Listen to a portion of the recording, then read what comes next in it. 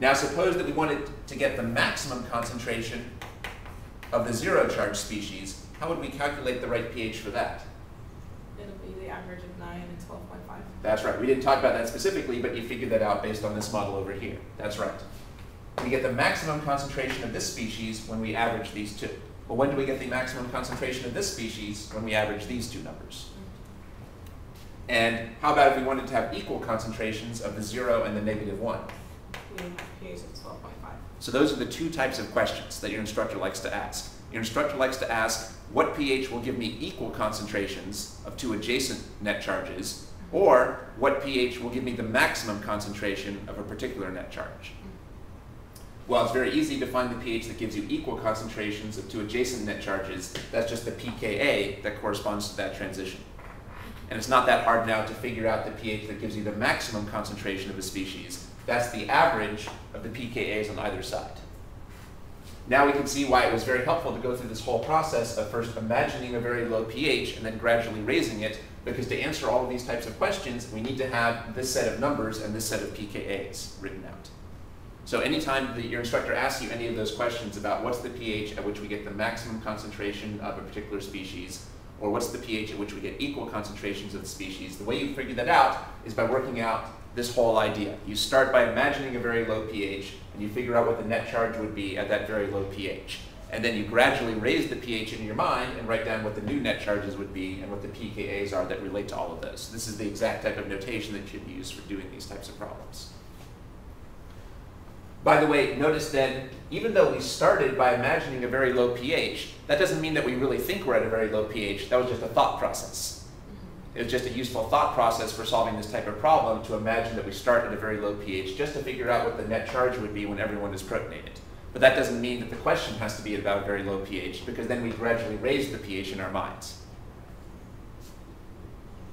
And there's other types of problems where we wouldn't use this method. So oftentimes I see that students start to think that they have to always imagine a very low pH. Well, no, just for this particular method, it helps to start by imagining a very low pH and then gradually raising the pH in your mind, just so that you can get a, series, get down on paper what all the possible net charges are and what the pKa's are that relate all of those.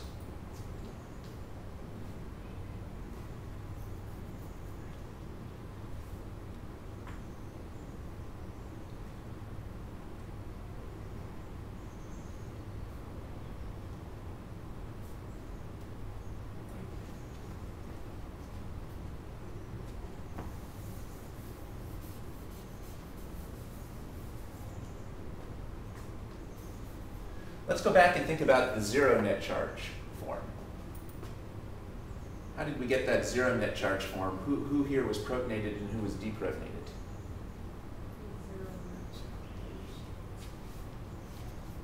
Let's see, that was after the pKa of um, 9 was protonated. I'm deprotonated.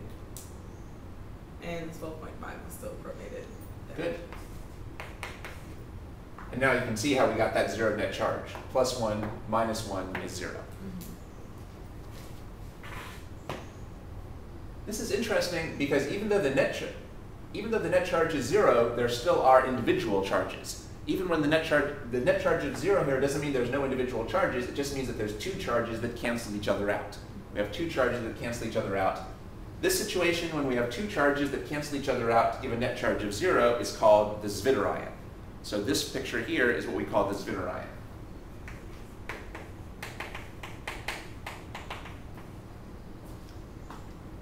The Zwitterion is the form with zero net charge when the two separate charges cancel each other out.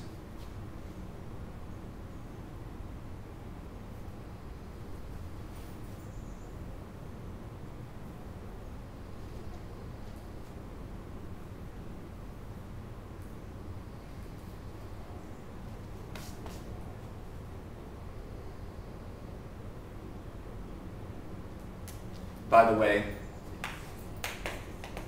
zwei is German for two. So this is just German for two ions. Well, that's how we got the zero net charge, right? Because there was two separate ionic centers that cancel each other out. So Zwitterion just means two separate ionic centers that cancel each other out to give a net charge of zero.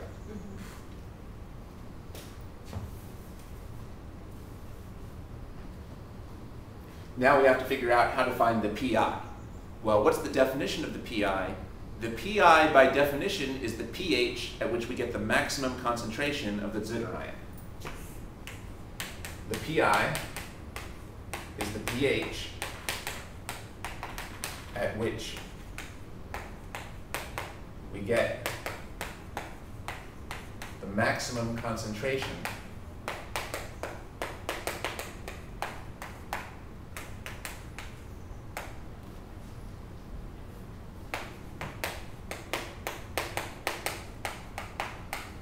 the zwitterion.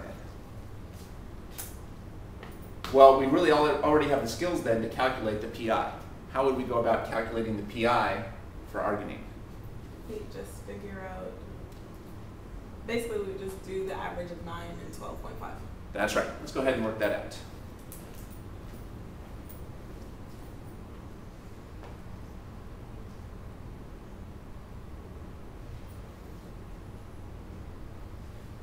What this point five. Where'd you get 3.5 from? Oh, that should not have been that. Sorry. It looks like maybe you subtracted those. Yeah. Right. But to find the average, we have to first add the 9 and the 12.5. Take your time. Go back and do the carrying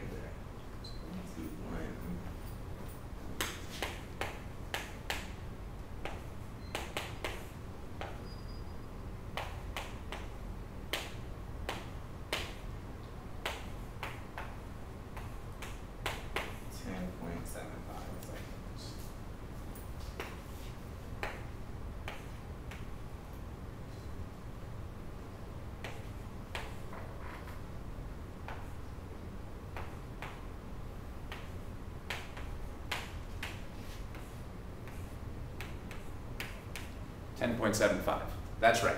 When you're doing these problems on the test, I would encourage you to write each of the steps down and show all the carrying and everything, because it's a shame to miss some credit if you already understand the method just from the careless math mistake. Mm-hmm. I certainly tend to make careless math mistakes on these when I try to rush on these, so it's always best to show all of your steps carefully.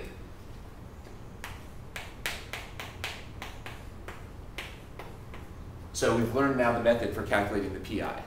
We've seen that the pI is really just, the pI is just the pH in which we get the maximum concentration of the zero net charge species. So it's just the average of these two pKa's.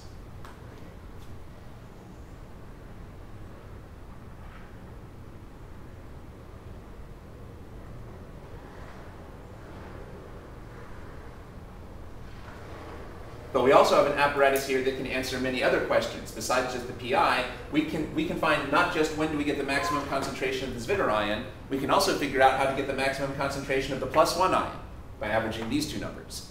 And we can also figure out how to get equal concentrations of neighboring ions. For example, to get equal concentrations of the zwitterion and the plus one, we'd set the pH at 9.0. Those are all the types of questions that your instructor likes to ask, so it's important to have this method before we can solve any of those types of problems, we have to get this whole chart set up, starting with the fully protonated form and working to the fully deprotonated form.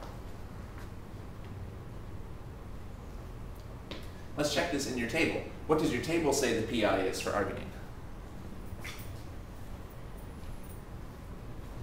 Ten point eight. They just round it off, so they get the same answer as us. However, you can see then your instructor can't just ask you the pI of a simple amino acid because then you could just look it up in the table.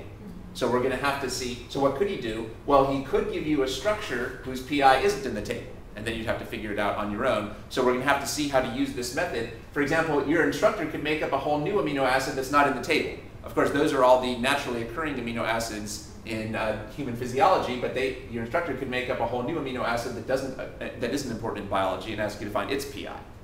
Well, we use the same method for that.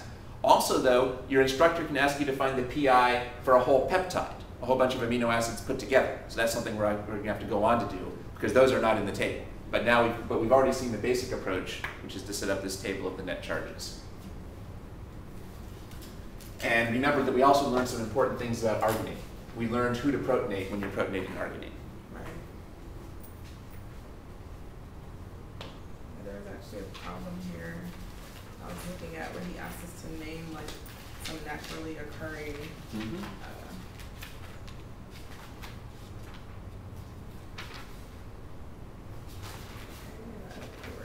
uh Well, we have made some progress here because I think we now learned most of the stuff that you would need to know about individual amino acids. So mm-hmm. now we can move on to putting the amino acids together into peptides.